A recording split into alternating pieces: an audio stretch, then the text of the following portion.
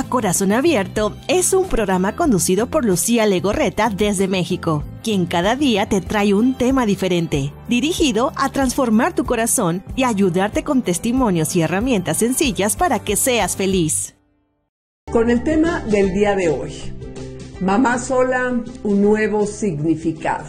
Eh, sé que es una situación pues nada fácil, también es común cuántas mamás a veces ah, voluntariamente, a veces involuntariamente quedan solas, quedan a cargo de una familia, de la educación de los hijos, del sostén económico. Y vamos a ver lo importante que es dar un buen significado a esta situación y a lo largo del programa veremos consejos muy prácticos que tú, si te encuentras en esta situación, puedes seguir o si conoces a alguien cercano a ti. Así es que no te me vayas a ir. Yo estoy en la Ciudad de México, son las 11 de la mañana en California las 9 y en la ciudad de Nueva York las 12 del día. Y muchas gracias a Gustavo Tapia por estar aquí al pie del cañón en los controles y permitir que tú y yo podamos escucharnos, vernos de lunes a viernes. Y hablando de estar en contacto, ¿eh? puedes tú contactarme a mí a través de varios medios a través de mi Facebook, Lucía Legorreta Oficial, mi mail, cervantes.lucia.gmail.com o bien a través de la aplicación de Guadalupe Radio puedes enviarme mensajes de voz. Mamá sola, un nuevo significado. Bueno, pues, eh, ¿quiénes son aquellas mamás solas que se conviertan en jefes de familia? Que se dedican a la crianza de los hijos sin que exista la presencia de un padre. Sabemos y vamos a ir hablando ¿no? de las diferentes circunstancias. El grupo más numeroso de mamás está constituida por todas aquellas que están divorciadas o que están separadas.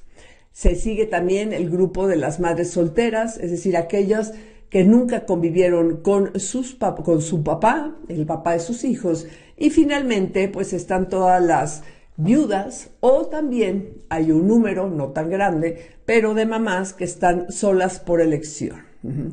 Y ojo, ¿eh? también es importante porque probablemente tú te encuentres en una situación así, en que puede darse el caso de alguna situación de la mujer que sus maridos tienen trabajo fuera de la ciudad donde viven y por lo tanto la presencia del padre es muy escasa. Y en ese el caso de las mujeres, por ejemplo, de migrantes, yo seguramente pues conoces a muchas de ellas o bien hay algunos maridos que se están en otro país y la mujer se quedó a vivir en otra ciudad, de trabajadores, por ejemplo, de plataformas de petroleras en que tienen que irse fuera, de militares, de conductores de trailers, por ejemplo, que recorren grandes distancias y a esta figura se le llama también padre periférico. Entonces no quiere decir que haya una situación en que la mamá, el papá, ¿verdad? Se fue o ya no está o algo sucedió, pero por la circunstancia de su trabajo, pues está poco cerca de la, de la mamá.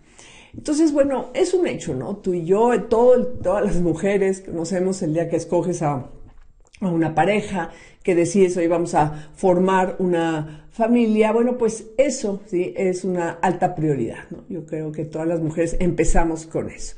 Casi todas sueñas, ¿verdad?, con encontrar un buen marido con el que puedas eh, sentirte amada, sentirte plena, formar una, una familia. Te casas, ¿verdad?, con una gran ilusión que será para toda la vida, que vas a envejecer junto con esa persona. Y bueno, pues es un hecho que a veces esto no sucede, ¿verdad? Como, no, como nosotros lo planeamos. Eh, puede haber, te decía yo, el primer grupo más fuerte de mamás que están solas. Son todas aquellas, ¿no? Que por X razones, no me voy a meter ahorita si son válidas o no son válidas, pero deciden, ¿no? Que ese hombre pues no era el hombre de, de, sus sueños, puede haber razones muy fuertes, puede haber razones de, pues, una adicción, puede haber razones de violencia, puede haber razones de, pues, de que el hombre no trabajaba, etcétera, o ya problemas internos de la pareja. El caso es que se toma la decisión, esa pareja, de separarse. Es decir, ¿sabes qué? Tú y yo, bueno, ya no vamos a seguir juntos. Entonces, cuando los niños, sí, generalmente son pequeños, se quedan a vivir con la mamá, Y ahí, bueno, pues hay diferentes situaciones, ¿no? Cuando viene el divorcio, hay papás que sí siguen muy responsables de sus hijos, que siguen encargándose de la parte económica, dando dinero y también viéndolos, porque no nada más es la parte económica cuando viene una separación, es toda la parte afectiva. Entonces son papás que dicen, bueno, ok, estoy separado, pero voy a seguir viendo a mis hijos, etc. Y también hay el otro caso, en que el papá totalmente se, se desentiende, dice, yo no quiero saber nada, ni económicamente ni tampoco afectivamente. Entonces, eso es una situación. Otra situación que, que es muy fuerte y pasa, ¿sí? es cuando cuando hay un abandono. Y eso yo he conocido a mujeres que lo han sufrido, que de un día para otro el hombre dice, sabes qué, yo ya no puedo más, eh, para mí es una carga muy fuerte, económica, emocional, psicológica, y sabes qué, me voy. Aquí en México incluso pues existe un poco ese, pues, entre comillas, chiste que dice, se fue a comprar cigarros y nunca, nunca volvió, ¿no? Entonces dice, de repente ese papá pues se desapareció, ¿no? Entonces es algo que sucede, es algo que el hombre a veces se desentiende totalmente y deja a esa mujer con uno o con varios hijos totalmente abandonada. Otra situación que se da y la estamos viviendo en varios países, en México, en Estados Unidos, en el mundo, es cuando esa joven queda embarazada. Adolescentes a veces de 12, 13, 14 años, que empiezan a tener una actividad sexual, muy temprana, quedan embarazadas y por supuesto, ¿verdad? Ese joven o no se desaparece, pero no se hace cargo del bebé.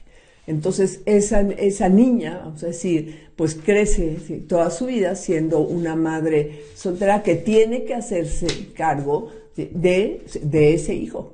A veces la familia le apoya, pero hay familias, conozco, que el momento que saben que su hija está embarazada, le dicen, ¿sabes qué? Te me vas de aquí. O sea, yo no, yo no te voy a ti a apoyar. Otra de las situaciones, yo te estoy planteando cuáles son las diferentes situaciones en que una mamá, una mujer, queda sola y, sola, y, y, para criar a sus hijos, y ya después vamos a ver, ¿no? Que cómo se hace, qué es lo que tenemos que hacer. Es la mamá que es sola por elección.